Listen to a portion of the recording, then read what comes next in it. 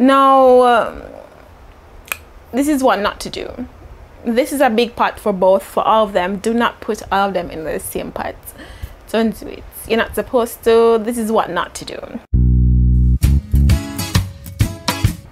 Welcome. Welcome back to Tips and Tricks Tuesdays with Smart Girl Gardening. Today, we're going to look at our lemongrass, fever grass. Yes. So I'm going to transplant this fever grass. I'll show you how I transplanted this fever grass. And I will also be giving you six smart tips and tricks of how to care for your lemongrass so that you can get an abundance of it. But you know, before we jump into the video, can't talk about lemongrass without drinking some fever grass tea.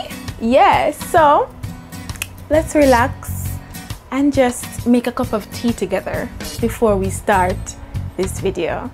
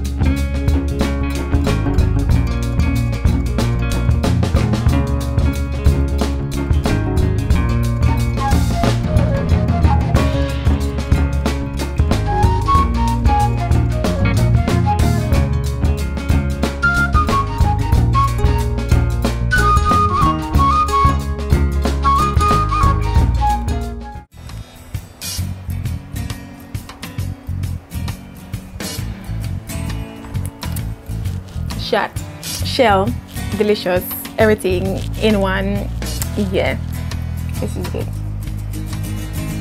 Mm. uh, comment below if you've ever drank lemongrass or fevergrass tea. Do you like it? Do you like the taste? And how do you use your lemongrass if you use lemongrass at all? Because I know we in the Caribbean we use lemongrass and in Asian cuisine of course it's used here but if anybody else is watching, do you use your lemongrass? How do you use it? Please comment below and let me know. Alright, so you know what time it is before we jump to the video. And we're going to start with A, tips and tricks. Tuesdays, A, tips and tricks. Tuesdays, A, tips, tips, tips, tips, tips and tricks. Tuesdays with Smart Girl Gardening. Yes. Alright, so while we sit and we have a little conversation with each other, let's, you know, step into my living room while we drink some tea and just talk. Before we start though, I know you keep hearing me say lemongrass, fever grass.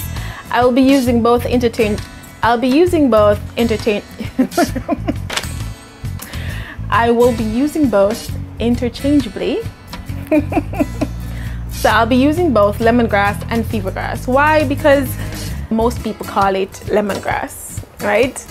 However, in Jamaica, we call it fever grass because usually when you have a high temperature or you're sick, you have a cold, you drink this tea, listen, fever is reduced, hence the name fever grass. Thinking, why am I drinking it now? Well, when I woke up this morning, my temperature was a bit high. It wasn't feverish, it was about 37.4. So I need to get that lowered. I don't want it to, you know, go up.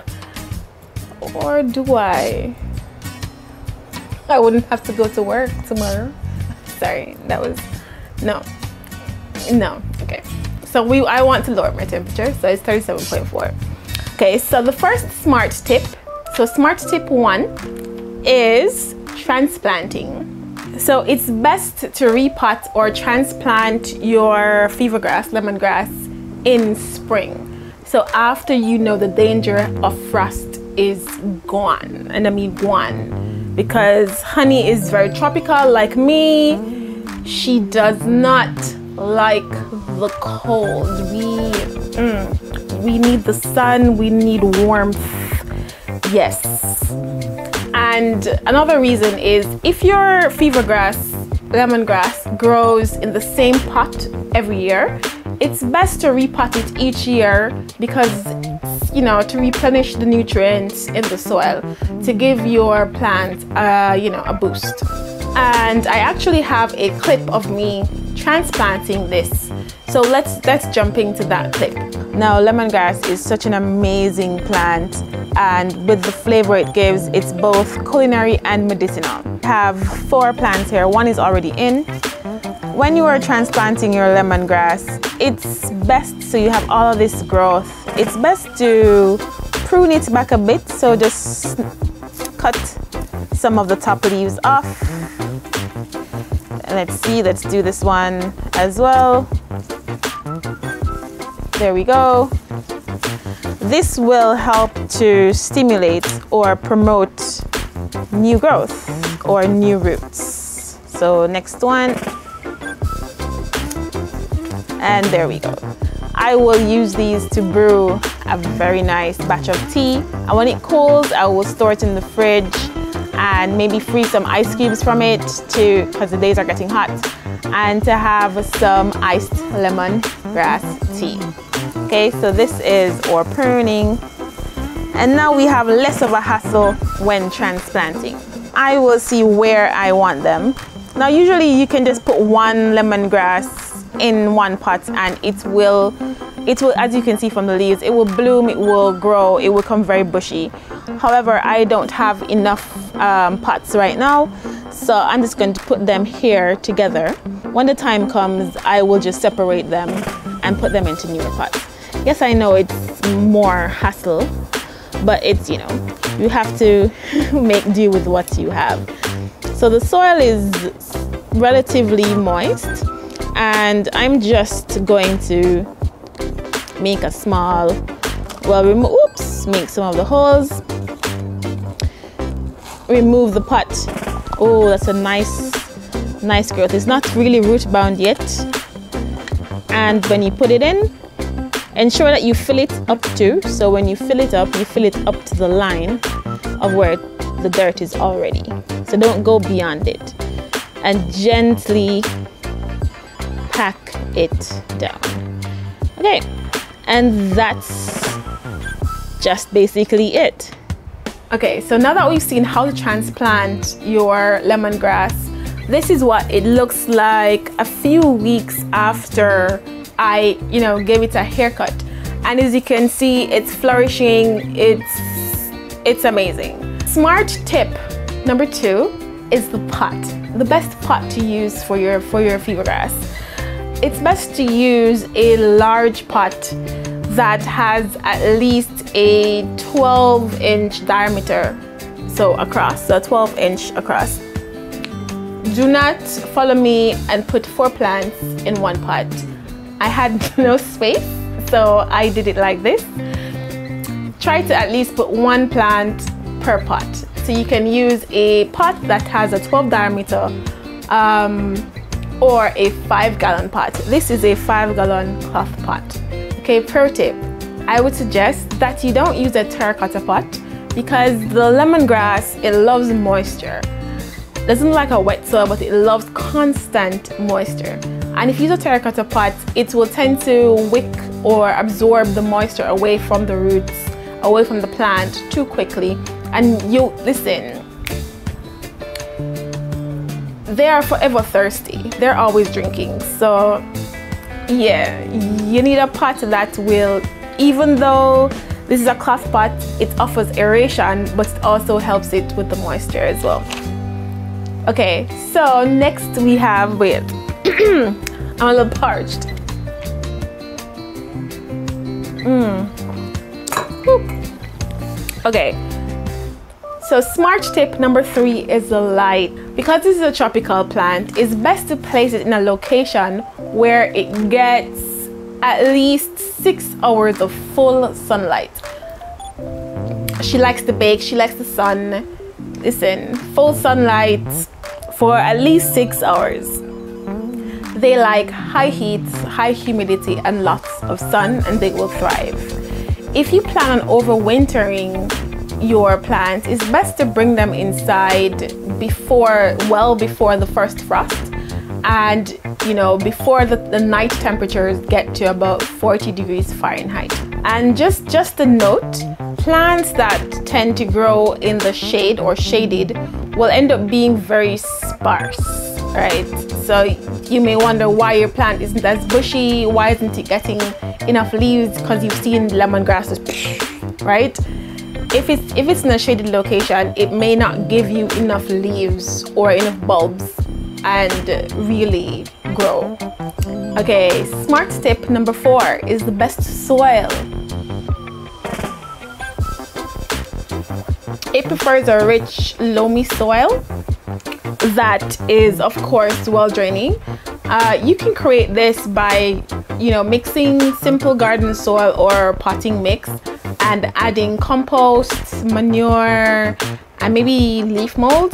Mix it together and this will give you just the right amount of soil for it. You can add also vermiculite, perlite and vermiculite. Perlite, both of them allows for, you know, drainage while draining soil. However, the vermiculite will hold on to moisture while the perlite doesn't. So for this plant, you could add a little bit of vermiculite into your mix and it will help with moisture retention with maybe a pH of about 6.5 to 7. And smart tip number five, watering. The best way to water your plant. So listen, lemongrass is not, and I repeat, it is not drought resistant. If she gets just a tops a bit parched, she goes, I don't like this. I'm dying. Okay, bye. Yeah, she mm, she does not like a dry soil. It's best to keep the roots continuously moist. Continuously moist does not mean wet and soggy. So don't let it sit in water. That's why you add in your vermiculite, a little bit of perlite to assist with the drainage it well it needs constant moisture. So therefore i would suggest that you water top inch becomes dry. So you know you do the finger test you know just take your little finger stick it in. If it comes up wet listen this this this is a family show. This is pg this is pg reel it back in girl. Reel it back in. Stick your finger in. If it comes up mm -hmm, it, it needs some water and just a pro tip for when watering, I would suggest that when you're watering, you keep your water at the base of your plant because sometimes when you top water and you get water on the leaves, it can promote, um, you know, mold, mildew, and just disease in general, and you don't want your plant to get sick, okay? Mm. Smart tips number six is the best way to fertilize your plant. So because of nature of the plant, it needs to be fed or fertilized every couple of weeks with, with a water-soluble fertilizer. Um, because it's a grass, hence the name lemongrass, fever grass, it, it needs a nitrogen-rich fertilizer. So usually when you go to the store, if you buy store-bought fertilizer like this one for Japan, it will say NPK. So nitrogen, phosphorus, and potassium. And it needs the N to be a higher number, so nitrogen. It's best to get a fertilizer that is probably 640. So, you know, nitrogen is 6, phosphorus is 4, and then potassium is 0. However, because being in Japan, I could not find a fertilizer like that in the store. Okay, so I use this fertilizer. It's and I'm not sure if you can see it. It's an N55 uh, fertilizer. It's made for greens and grasses and it also has iron in it. So this is what I use to fertilize my lemongrass every two weeks. So I take two corkfuls in my five liter watering jug and I water it. While on the other hand, if you prefer to use your own more organic natural fertilizer, you can use manure tea. So, you know, you can make your own, maybe your chicken manure, etc. Um, soak it in water and then use that to water your plant. In cold regions, you can trim back your lemongrass to a few inches above the soil like I did in the first transplant and then place it in a bright south-facing window. I don't unfortunately have that option because my balcony is actually east-facing. So what I do, I put it at my balcony door and I use an artificial light, like a grow light, to assist with adding some brightness during winter. And then you should keep the soil barely moist because you know it's gonna go into dormancy and you don't want to get root rot and damage your plant. Another option is after you've cut it down, you can store it. yes, I said store. Store it in a dark, cool location and water it only a few times, a couple of times during the season so that the roots don't die on you. And as it starts to get a little bit warmer, a little bit brighter, you take it out and you put it in your window area, your bright window area. And then when the temperatures, the night temperatures get above 40 degrees Fahrenheit, you can then start to slowly bring it outside after, after the threat of the frost um, is finished. Thank you so much for watching. I really hope that this video was beneficial to you. And if it was, please comment below and let me know if these tips and tricks helped you out. And if you have other tips and tricks that you use when you're growing your lemongrass, I would love to know and so that I can use them in my balcony garden. Thank you again. Later.